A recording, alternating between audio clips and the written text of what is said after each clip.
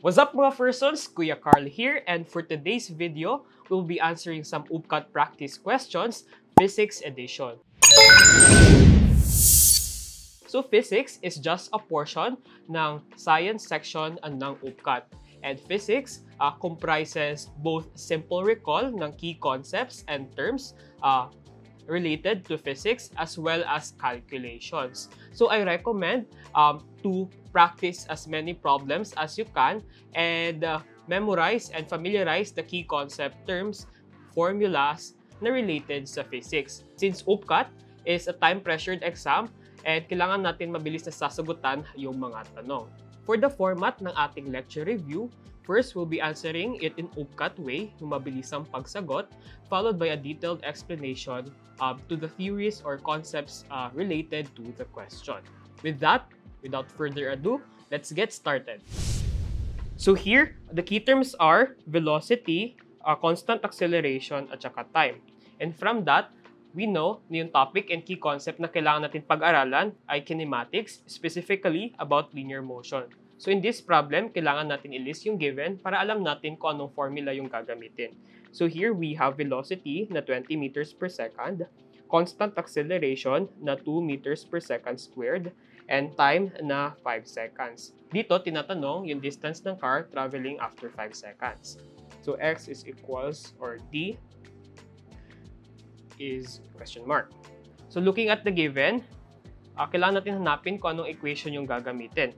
So looking at the formulas, we have um, velocity, acceleration, at time. So this equation yung gagamitin.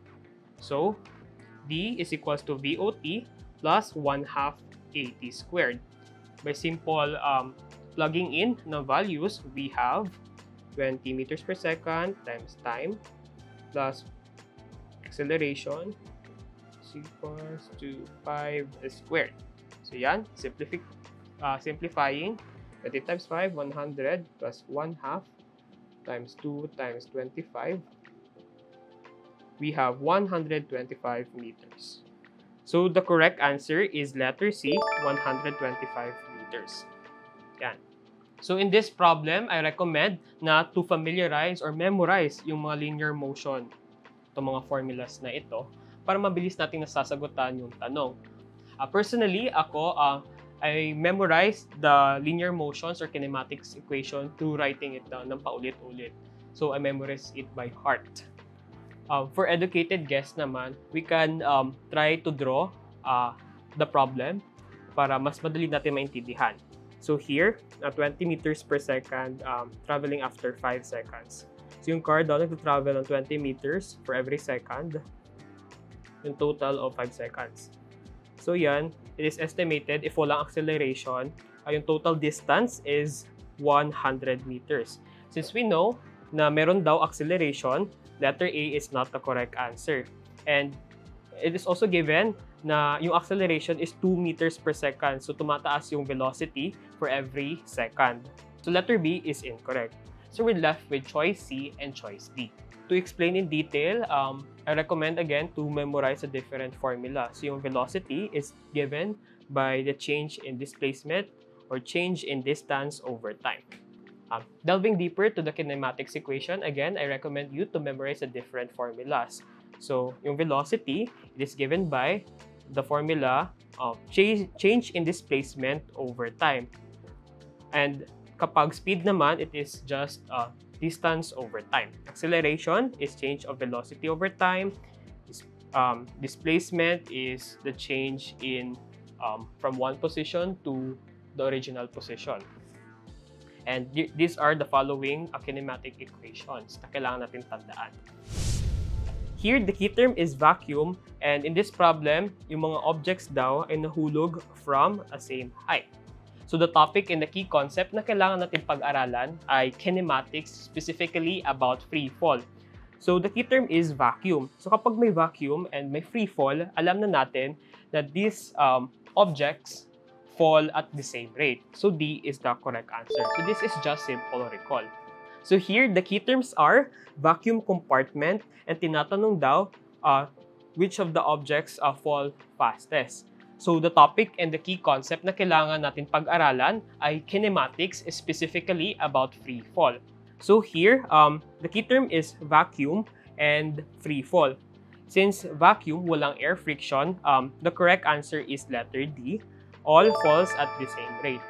Now, delving deeper to the concept behind um, free fall, when objects freely fall, they are influenced by gravity. So it accelerates at a constant rate at 9.8 meters per second squared. So lahat ng objects um, accelerate downward towards the Earth at 9 meters per second squared. So kapag may air friction, yung kadalasan nangyayari sa atin, um, which is happening in reality, these objects won't fall at the same rate.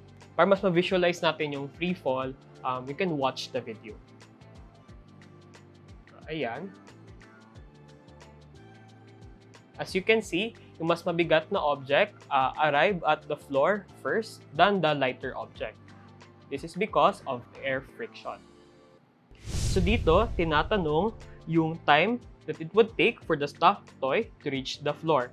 And since may involvement uh, ng pagtapon ng stuffed toy from a ceiling, the topic and the key concept na kailangan natin pag-aralan ay kinematics, specifically about projectile motion. So here, meron ceiling. Ang height is 4.9 meters. So, may object na tinapon pababa. So, yung horizontal velocity is 5.0 meters per second. Tinatanong yung time. Now, listing the given. Given, we have horizontal velocity na 5.0 meters per second, um, vertical velocity na 0 per meters per second, and acceleration is due to gravity since free fall is involved or may nahuhulog na object. So, ang gagamitin natin is negative 10 per meters, uh, meters per second squared. Uh, negative 10 kasi pababa. And the height or the distance, y, is negative um, 4.9 or negative 5 meters. So this is negative as well kasi pababa.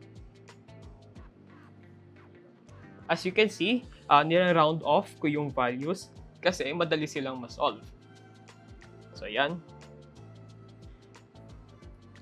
And time is being asked in the question. Since ganito yung given, um, based sa kinematic equations, ang gagamitin nating formula ay dy is equals to VOT plus 1 half um, GT squared. Since alam natin na yung um, values ng initial velocity in y is 0, this is 0. So dy is equals to 1 half GT squared. Here, 0 siya kasi binato siya from a stationary position and going down pababa. Yan. So, simple plugging in of values and rearrangement ng equation. So, t squared is equals to dy divided by um, 0.5 times g or 1 half. Ito is 1 half. Tapos, square root, square root. So, t is equal to square root of dy times 0.g. Yan. Lipat lang natin.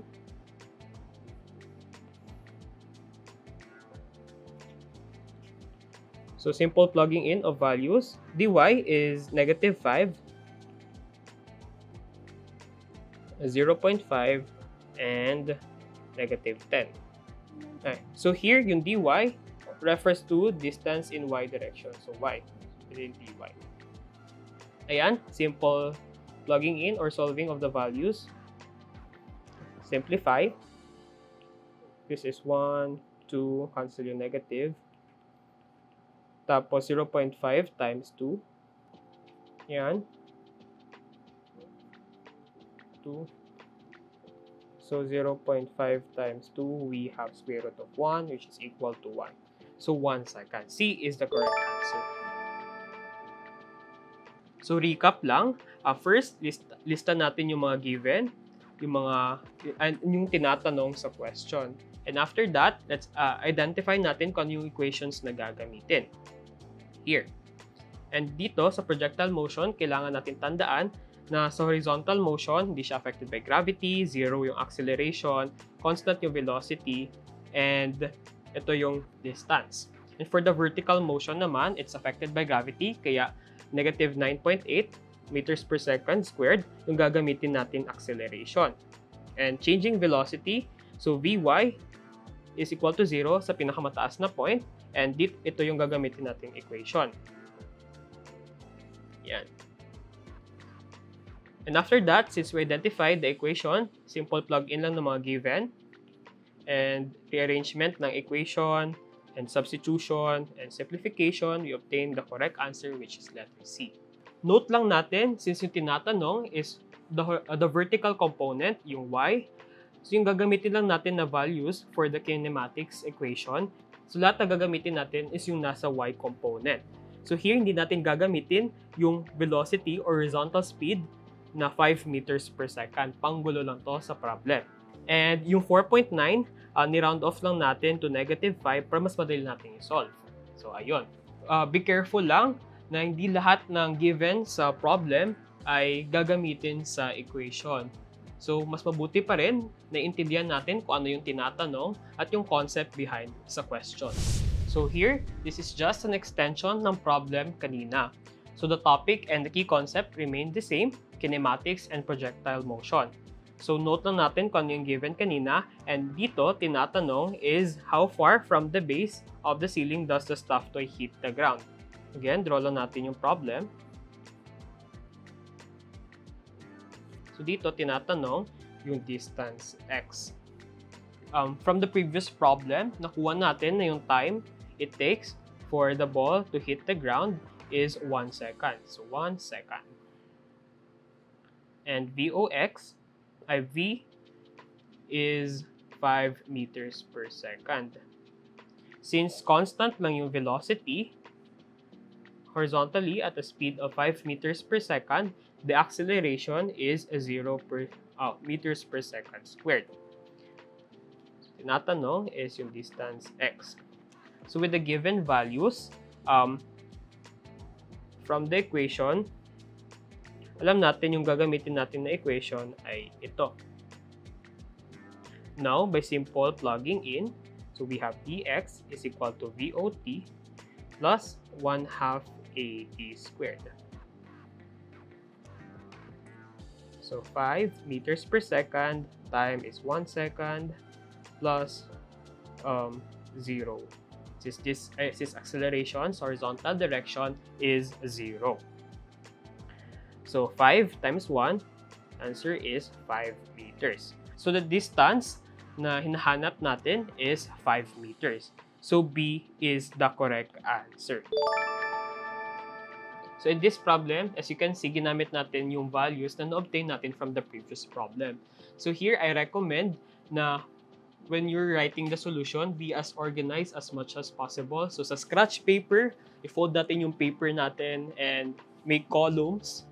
Tapos, um, for the solution, in-number natin yung solution natin to a specific problem para mas organized and mas madali natin ma-refer back in case nagagamitin natin yung previous solution natin. Ready to become an scholar ng bayan? Enroll in the UPCAT Masterclass today